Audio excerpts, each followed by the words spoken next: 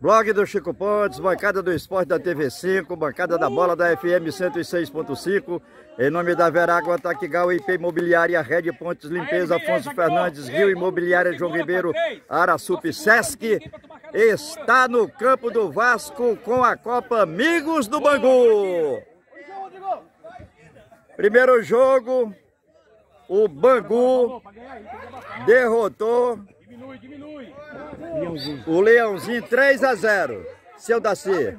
3 a 0 foi uma vitória maiúscula, né, professor?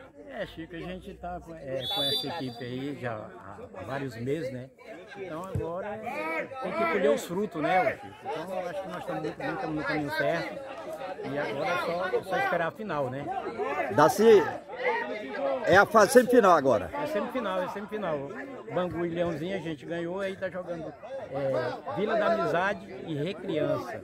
Tá sendo um sucesso, né, Daci? Mas tá bom. A Organização. Tá, a competição tá boa, muito organizado, né? A gente marca as coisas tudo certinho, eles entendem, vêm, né? Sabe o que é escolinha, né? Hum. Escolinha é escolinha. É para obedecer, né? E graças a Deus, quando eu faço as competições, tá dando certo, né? Até hoje tá dando certo. E a tendência é só, só aumentar, né? Parabéns, viu? A gente vai fazer mais. Muito bem. E aqui, no meio da galera, aqui, ó. Vamos falar aqui no meio da torcida com Marcos Alexandre. Ele tá aqui, gosta São Paulino, gosta de futebol.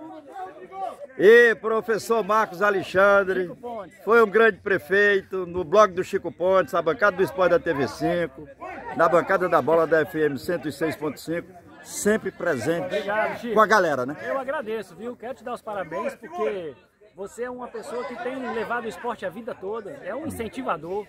Tem o blog, tem o programa na TV. A bancada do esporte é o programa que respeita e valoriza o esporte. Soltar a bola, pô. E eu não preciso de vir, eu adoro esporte. Sou um o futebol e o esporte em geral, né, Chico? É.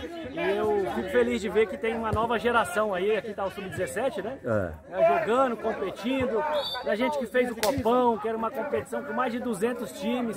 Eu espero um dia ver de novo esse movimento todo do futebol e do esporte. É, a gente tem que dar as mãos, né? Com certeza. O esporte é, é, uma das mais importantes políticas sociais que a gente tem. Eu acredito nisso. Viu? E a galera tá com saudade do senhor. É, e tomara que o meu time, o São Paulo, agora, hoje à tarde, ele possa ganhar, porque o São Paulo parece que não quer ganhar. Ele começa ganhando empata, começa ganhando empata, Chico. Parabéns. Um Obrigado, viu? Professor Afrânio, também aqui junto do grande Marcos Alexandre. Ô Chico, satisfação em vê-lo aqui e você sempre no meio, né? E aqui é nessa competição você presente, sempre divulgando, incentivando, defendendo e informando. E a gente está fazendo uma visita aqui com o Marcos Alexandre, que é um incentivador do esporte, quando então prefeito também a gente tinha essa experiência positiva e a gente também, na medida do possível, acompanha.